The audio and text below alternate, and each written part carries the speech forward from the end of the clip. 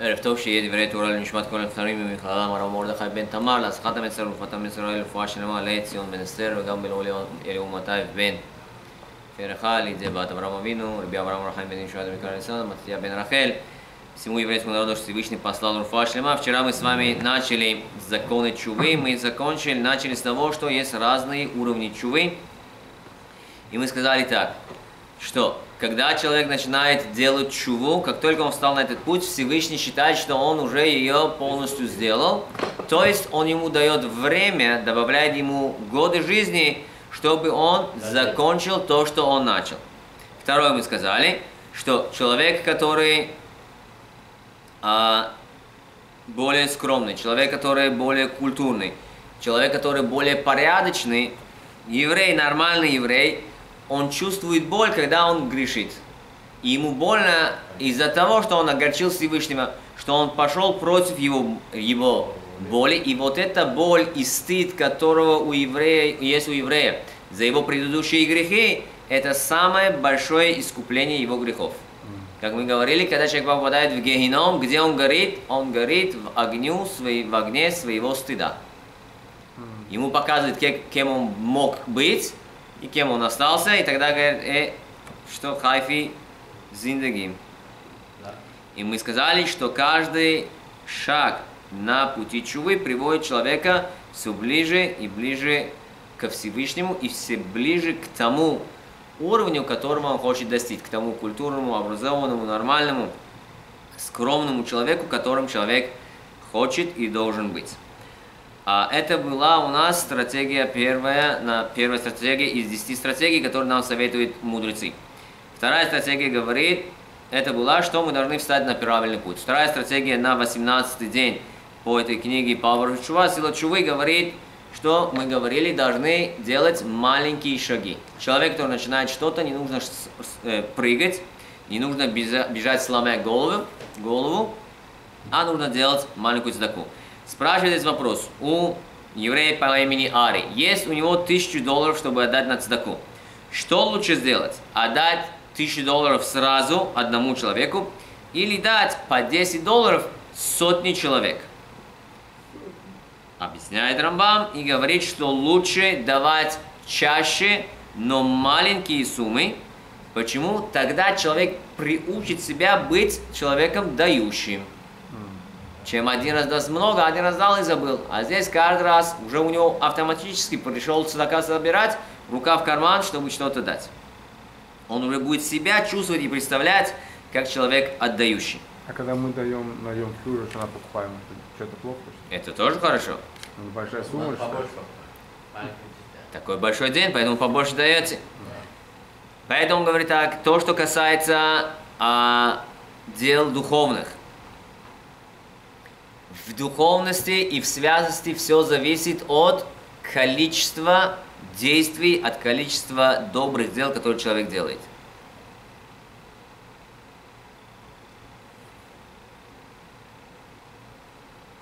Несмотря какое бы огромное влияние большая мецва не оказала человека на человека, и как бы в лучшую сторону он не изменился из-за какой-то большой мецвы, из-за какого-то большого дела, сто маленьких мицвод сделают его, в конце концов, и окажут на него более большое влияние, чем одна огромная мицва.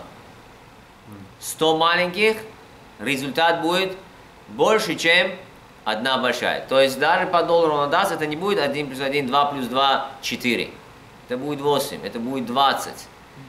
Результат маленьких мицвод намного больше, чем одна огромная мицва. Кроме того, изменение человека или изменение любой, э, любой вещи не происходит за один раз. Человек, который хочет меняться, это процесс. И каждый шаг, каждая ступенька в нем очень важна.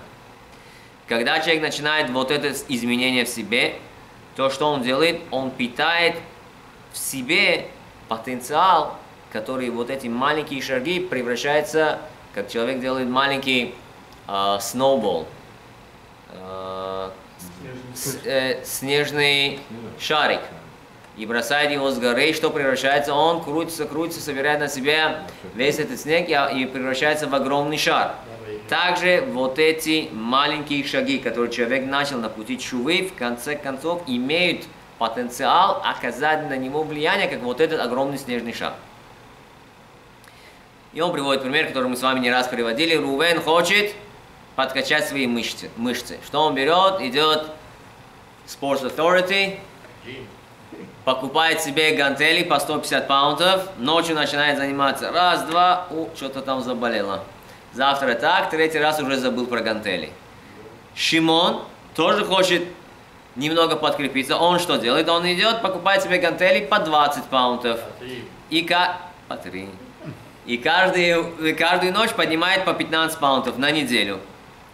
Через неделю он э, увеличивает это еще на 5-10 паунтов. И так раз за разом, раз за разом, через несколько месяцев он уже начнет поднимать по 150 паунтов. Точно так же говорит. Каждый шаг, каждое повторение маленького шага, каждая маленькая победа над Ецерара, как, например, молитву в миняне, которую человек не пропустил.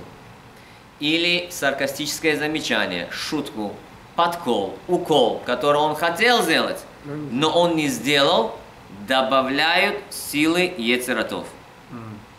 Так пишет Сифте Хаим. Поэтому он говорит, и точно так же Ецерара строит маленькими шагами. Ецерара человека от Бога сразу не уводит он уходит постепенно, маленькие шаги. Поэтому он говорит, вот это наша душа воюет с этим яцерара. Как мы воюем? Выбирая каждый день, каждый час, каждую минуту, что мы делаем? Мы делаем мецву или нет? Каждый раз, когда мы выбираем мецву, мы усиляем свою душу в духовном смысле. Мы усиляем свое тело.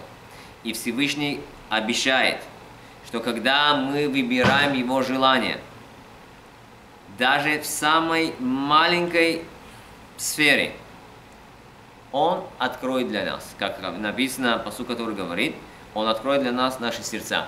Человек, который открывает для Бога маленькое отверстие, как в ушке у иголки. Бог расширит это отверстие, как вход в огромный зал. Поэтому он говорит, что человек должен по-английски это называется seize the moment. Что значит уловить момент? Не пропустить момент, когда Всевышний хочет ему помочь. Раскрыть вот эту маленькую дырочку в ушке иголки, вот это маленькое желание, которое у него появилось, которое раскрыть его, помочь, ухватиться за этот момент, когда ему помогает Всевышний, чтобы он совершил полноценную чубу. Рабай, сарказм нельзя говорить, что это считается как лошонара? Как это? Это, да, это сарказм считается неправильно. Да. Подколывать, да. это неправильно. Вообще? Ну, это унижает. Был а, Рав э, Лев Кацина рассказывал, когда он брал своих учителей, он себе брал себе одного э, учителя в Ишиву, Равина, Ребе, и он спросил а, у других, а, откуда он приходил, так ему скажут, что он очень умный, очень хороший, но у него он обязательно как где-то кого-то очень может сильно уколоть. И когда он пришел на интервью, он сказал тогда, тогда спрашивают, ну скажите, какие у вас а, слабые черты характера и какие сильные черты характера. Он сказал, да, да, да, сказал, ну вот одна из моих вещей, которые я могу, я могу сделать хорошее саркастическое замечание. Он это сказал, мы думаем, что это умно, это хорошо. В Америке сегодня это восхваляется по радио, по телевидению. Я не смотрю радио, когда я слушаю, ого, один другого унижает. Кто больше на кого грязи польет, он более лучший ведущий. Особенно на нашего президента. Сар сарказм это не грязь же, это просто как так сказать? Э, так сказать. Э, опять, если я хочу, чтобы мне, если мне такое замечание сделать, у меня с этим проблем не будет, угу. может быть и то, женщины и мужчины в этом смысле абсолютно разные. То, что мужчины, мужчине по барабану, женщина говорит, как ты можешь такое сказать? Ну и ты что меня обидел? И что я сказал? Ты так не так посмотрел. И что, смотреть нельзя? Поэтому человек должен научиться делать хорошие замечания. А, а, а как вот он имеет такой Грамотный человек мог пока откалывать. Кто? Равай, Равай. Учитель. Окей, он грамотный статус, это его слабость. Он умный, он смекалистый, у него логика, у него все хорошо. И он этим пользуется, но неправильно. Но он сам этого не понимает, что это неправильно. Он он считает, что так надо. А Он я не думаю, что он его взял на работу. Как мы он не учился, что ли? То мы все учимся. Опять, у всех есть рам, не знаю, мы вчера пару, дней, пару дней назад мы что сказали? Когда рассказывают о праведниках, говорят обычно о последних годах их жизни. Когда они уже всю жизнь проработали над собой, исправили себя. Все, что мы, мы говорим, он был такой, он та А что было раньше?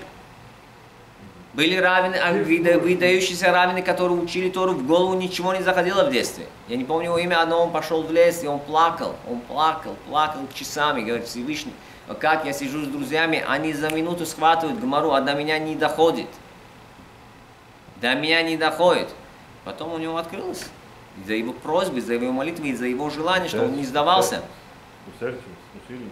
А? То, что он усердчивость проявил. Усердие и желание это узнать. Опять, это было у него, как у Авраама Вину, как у Сара и Мену. Не могло, по природе не могло у них быть детей. Он по природе родился с такой головой. Даже Моше Рабену на горе Синай 40 дней учил Тору, а отсюда заходил, отсюда выходил. За то, что не сдался, на 40 день Бог ему это дал в подарок. Но обычно говорят, что у каждого праведника было прошлое, у каждого грешника есть будущее. О, это тоже хорошее, правильно. У каждого праведника было прошлое, у каждого грешника было есть будущее. Чтобы он не сдавался. Поэтому он говорит, именно, смотрите, как он делает замечание. Он, он- э, говорит, Рав Кламен здесь пишет так. Этими маленькими шагами мы подходим ко Всевышнему. Откуда мы это видим? Мы каждый день, три раза в день, перед тем, как начать Шмона Исре, мы идем три шага назад, три шага вперед. Вот эти три шага вперед, три раза в день, они соответствуют трем разам, когда в Танахе написано слово «ваигаш». Первый раз написано это про Авраама Вину, когда он готовился к встрече к Исаву. Второй раз написано «ваигаш Илав Иуда», когда Иуда готовился ко встрече с Йосефом, или подошел к Йосефу, обратился к Йосефу. И третье написано про Илья Нави в первой книге Мелахим, 18 глава, 21 посук. Что это? И он обратился к нему. Это три раза, ко- которые написано это в Танахе, в Тора, Нави, Миктувим. И это показывает, какие мы шаги делаем здесь? По полметра? Нет, маленькими. Маленькими шагами мы подходим ко Всевышнему. И он говорит, несмотря на то, что Всевышний везде, мы делаем умышленно три шага вперед. Для того, чтобы продемонстрировать наше желание приблизиться к, ним, к Нему, стать к Нему еще ближе. Всевышний везде. Для чего три шага? Мне это надо знать. Что я показываю, демонстрирую, что я хочу стать ближе. Мы сказали, известный пример наших мудрецов, каждый год царь выходил из своего дворца для того, чтобы посмотреть, как живут его жители, его граждане его страны. Однажды очень бедная-бедная пара была проинформирована, ей сообщили, что в этом году царь их посетит, посетит их семью. Что сделал муж? Муж сразу начал готовиться. Стал белить, красить, улучшать как-то свой, свою квартиру, свою хижину, развалившуюся. Жена что говорит? Зачем это все надо? Мы живем, вот так мы живем, это то, что есть. Хотя обычно в семье это наоборот. Хотя обычно жена хочет все поменять, а муж говорит, зачем? Как Рокшин говорит, «Теле- купили этот э, э, чайник 20 лет назад во время свадьбы. Жена говорит, надо его выкинуть. Зачем уже работает? Ну, зачем чайник менять? Ты его поставил, уже кипятит, ну ему уже 20 лет. Не, надо, не, зачем? Но здесь он, конечно, был наоборот. Он говорит, муж готовится, а жена говорит, зачем это надо? А, то, как есть, то, как есть. Зачем говорить а, по- про- фальш- зачем фальшивить?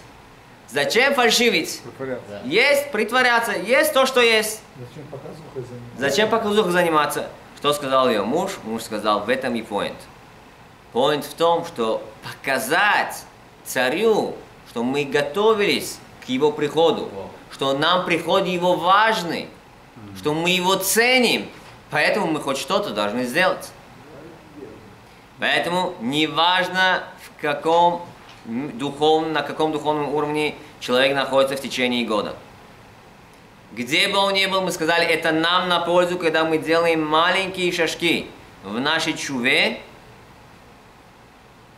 э, к подходу к Рошана Йом Кипур, когда мы ждем визит от Всевышнего, от царя царей к нам. Три поинта, которые мы... Следующий дальше он здесь советует, чтобы, как мы сказали, эффективная чува требует знания необходимых аллахот. Поэтому, без Шем, завтра мы начнем с вами второй урок аллахот, который называется «Один шаг за шагом на пути чувы». Три поинта, которые мы сказали сегодня. Лучше делать постоянно маленький мицвод, чем иногда делать большие мицвод. Человек, который ставит себе небольшие цели, он быстрее добьется успеха и быстрее построит и добьется более больших изменений. И третье мы сказали, Всевышний увеличивает силу маленьких шагов, маленьких усилий. Как мы сказали, человек делает маленькое усилие, Бог его увеличит. Как мы сказали, человек открывает ушко, отверстие для Всевышнего, как ушко иголки, Бог открывает его, как э, вход в огромный зал. Поэтому даже маленькие шаги, которые мы делаем, Всевышний дает им огромную силу. Баруха Дунай Лаулам. Аминь, Аминь.